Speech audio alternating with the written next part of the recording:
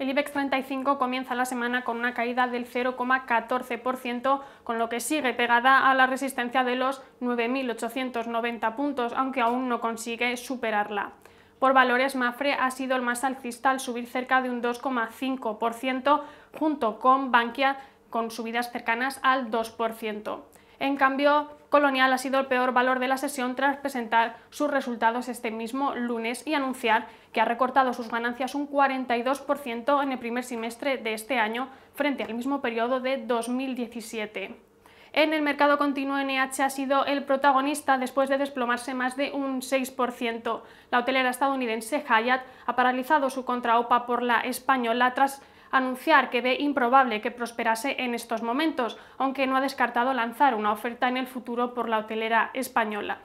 También de mercado continuo han presentado sus cuentas Liberbank y Almiral, y las dos han terminado con importantes subidas tras contentar al mercado con sus cuentas trimestrales.